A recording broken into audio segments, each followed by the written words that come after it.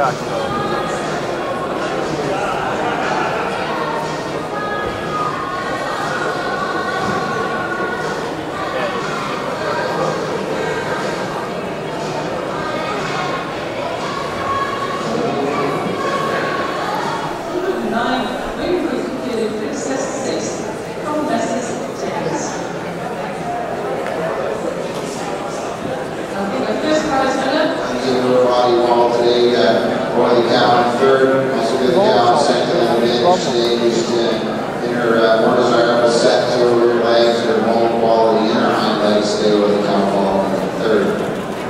Third over fourth, uh, for me, it's a situation moves on her hind legs, she's more comfortable, and also give her advantage in her she's, she's showing us a little more quality today, a little more height and width to her rear today. Also, I feel she's just a little fresher, just a little more uh, angularity and variance today over the, uh,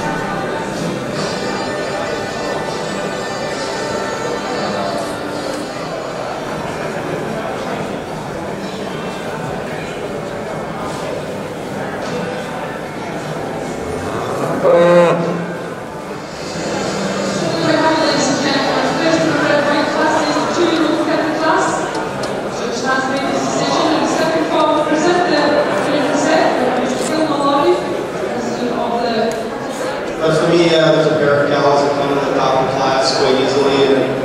and it's the first gal that overwhelms the rest of the class with a frame or length of frame or variance or quality through it today to take her over the beautiful after we have it set. Also give her the advantage today just on that front teat placement size shape, just to place it on the corner today over the beautiful rear gal we have coming in second. Second over third is on that loom, that wing career, that, that variation